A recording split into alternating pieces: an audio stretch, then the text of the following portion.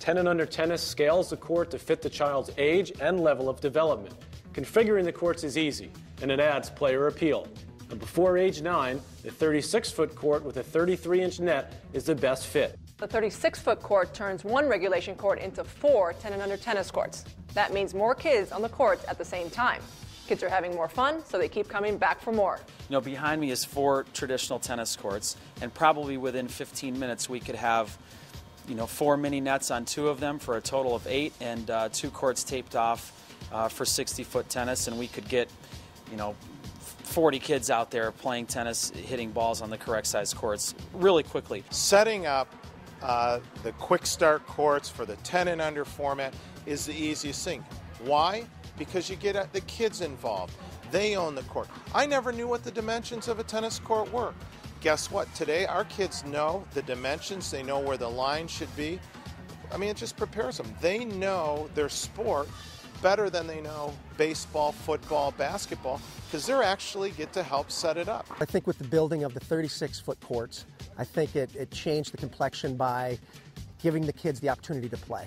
I grabbed some hammers and, and uh, tape measure and uh, went to work. And in about four hours, we had uh, four quick start courts uh, nailed down and ready for play. This was an ideal location for some family-friendly tennis courts. So the, the Sioux Falls Tennis Association decided to seize an opportunity and make this place their, their first permanent quick start tennis facility in, in Sioux Falls, South Dakota. Starting at age 9, most kids are ready for the 60 foot court with the 36 inch net. The 60 foot configuration helps them hone their skills and develop strategy consistent with their size until they grow into the 78 foot court. Lines can be temporary, laid down with tape, or permanent. The lines are set up so that we have 60 foot lines as well as 36 foot lines on the courts.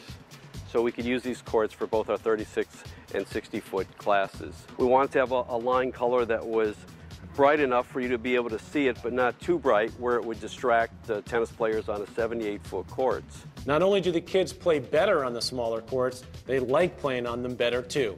These courts are cool. They let pint sized kids play what feels like a full size game. They're real competitors now, and what they're learning will make them better competitors for a lifetime.